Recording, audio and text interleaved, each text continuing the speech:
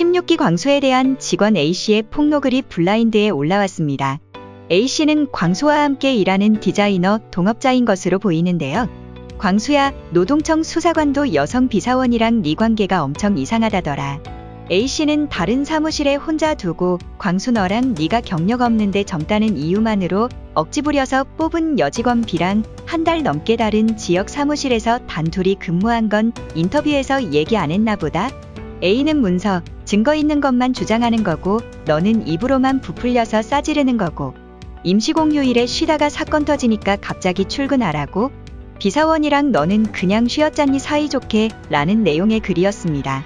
광수는 과거 피소를 당한 것에 대해 동업자 A씨의 주장을 반박했으며 A씨가 직장 내 괴롭힘, 인격 모독과 폭언, 무단결근 등의 이유로 징계해고 대상이라고 말했습니다. 블라인드 폭로 글에서 말한 A씨가 여성 비사원을 괴롭혔다는 것인데요. 하지만 A씨는 광수가 명절 출근을 지시하는가 하면 디자이너인 A씨에게 노트북이 아닌 A4 용지에 스케치를 시키는 등 비상식적인 업무 지시를 하며 갑질을 했다고 밝혔습니다. 광수는 A씨의 회사 출입 카드를 영구 정지하고 개인 비품 회수를 방해했으며 별도 사무실을 지정해 출근을 하라고 했다고 합니다. 이에 대해 광수는 회사 출입카드 정지, 노트북 압수 등의 사실은 인정하지만 모두 회사 보안상의 이유였다고 반박했습니다.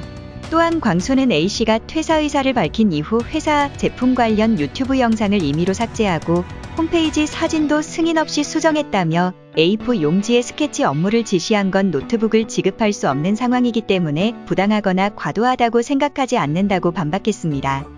16기 광수는 동업자 A씨와 법적 공방 중에 있으며 서로 다른 주장을 하고 있는 것으로 보입니다.